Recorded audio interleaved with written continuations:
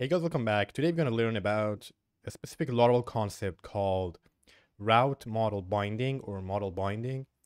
And it's going to help us actually shorten the amount of code we write and improve our code quality. So uh, previously, when we wanted to delete our uh, ideas, we had to basically search the database, right, using this where request, find our idea, and then call the delete function on it.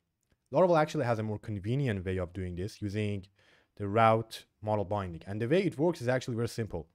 All you have to do is tell Laravel what this ID is for, and I'll tell it it's going to be an idea. And Laravel will automatically, using some cool magic in the background, go ahead and figure out that this ID is the primary key for some idea. So basically Laravel will do this part of the code for us in the background so we don't have to actually do it. And it allows us to basically cut or remove all that code. So it makes our code shorter. Auto will automatically inject the idea inside. Now, the variable name that you use here, this ID has to match the name you have used in your route.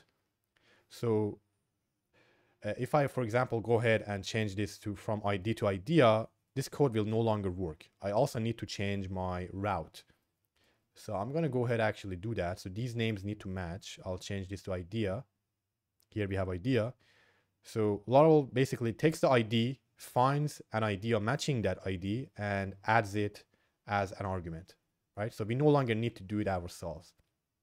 And the only line of code we need is actually idea.delete, right? So our code is going to be even shorter than it previously was. So I'll go ahead and I'll test this code. So we have right now 21 results. So I'll delete some of them. Now we have 20, I'll delete one more, we have 19. So as you can see, the functionality is same as before, but our code is actually shorter and I think it's more descriptive as well, right? So we are basically destroying or deleting an idea. Very straightforward. So now that we have actually come this far, let's do one more thing. I want to actually create a page to uh, view a single idea, right? So I want to basically be able to go to slash idea and then one or two or three and view that single idea, right? Only one card. So let's go and actually implement that. I think it's going to be quite fun to do it. So I'll go ahead and I'll create the route for it first. So you have the ideas. And what I'm going to do is I'm going to use show, show, and I'm going to say ideas.idea. now, the names here that I'm using, guys, is the same names that I showed you guys on the previous episode. So I'll go to the Laravel documentation for controllers.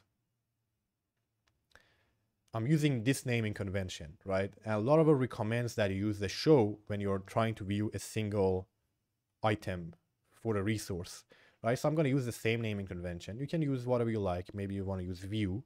It's totally up to you. It's not forced, but that's the naming convention in the Laravel community and what's shown on the documentation. So I'll follow that. And let's go and create this method actually. So I'll I'll have it opt here and I'm going to say public function show and I'm going to use model view binding that we just uh, learned model route binding. So I'm going to say idea, idea, and uh, we don't have a route for it, a view file for it yet. So I'm just gonna for now say uh, ideas show, and then yeah, I'll pass in our idea as well. So I'm gonna say idea equals idea. Now uh, I'm gonna go ahead and actually create this view. So if you can see, I want to add uh, an ideas folder. So in our views, I'll create a new folder. I'll name it ideas. And inside here, I'll name it show.blade.php. And I'm using the same name as our uh, controller function. So it's a bit easier to find it, right? And I'll go ahead and actually like copy the code from our dashboard. And I'll remove some of the code we don't need for now. So I'll keep the sidebar. I'll later on, I'll refactor this and I'm gonna remove, I'll keep all of those, but instead of having this for loop, I get rid of the for loop. I'll get off the pagination. I'll go like this. And I'll even actually remove the submit idea. I don't think we need it. So I'll just keep the idea card. And the idea card wants a variable named idea, which we already have. We're passing it down. So it should work out of the box. Now we do need to test it out. I'm not sure actually what's the ID for this guy. So uh, we have to guess. I'll say we can actually add the link somewhere here. So for example, maybe I can add an eyeball here to view it. So next to the delete button, I add a new button. So I'll go here. I add a new button here. And I'm going to say view for now. Later on, or maybe make it an A tag. Later on, we will improve this. And I'm going to have it point to the route ideas.show and I'll pass the idea.id. Basically exact same thing we did for the delete. Okay, so let's go and reload the page. We can see it over here. It does look a bit weird. It's totally okay. We'll fix that uh, later on. For now, I'll just click on it. And we can see we're actually getting an error. So the route only suppo supports post and delete. So this means I made a mistake here. Yep, this should be a get. And again, guys, I'm not going to edit this out because I want you guys to see I also make mistakes.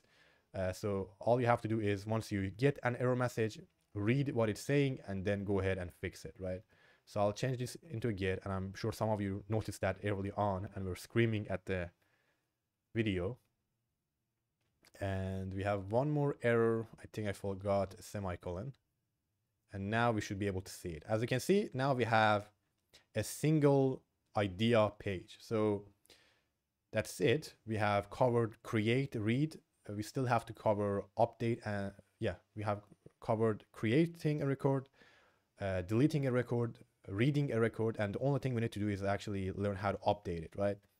Now, for the sake of simplicity, I'm actually gonna go ahead and I'll include this inside our form. And I think this should improve it, yep. And I'll have it be actually before the delete button All right, And I'll give it margin start one. All right, now looks slightly better. Uh, I don't care about the UI as of now. Later on, we will improve it, but we have learned about uh, model binding, what it is, how to do it, and we did it for two operations, right? Viewing a single idea and also deleting an idea. And if we go and look at our controller, our code looks very short, guys. Look at how little code we have written for this, right? We don't even need to actually interact with the database. And a lot of your CRUD operations are going to be as simple as this uh, when using Laravel. Now, I do want to show you guys one more tip. Uh, if you guys have noticed, this line of code looks a bit weird, right? We are using idea here, idea here. We can actually shorten this a little bit by using a, a function called compact and then passing in idea. So basically, Laravel will go and find a variable name that matches this string here, which is idea, and create our associative array automatically for us, right? So this code is exactly identical to this, right? Because these two have the exact same name, we don't actually need to create the associative array. We can just use compact. And it's going to save us some uh, time writing code, right? So it just saves time. And if we go and reload the page, uh, it works just like it did before. So functionality is the same, but we just write less code, which means we are more productive and we can ship things faster. And that is it, guys, for this episode. I hope you learned something new. If you have any questions, you can always ask me in the comment section below. Don't forget to like and subscribe for more content. And I see you guys on the next episode. Have a great day. Bye.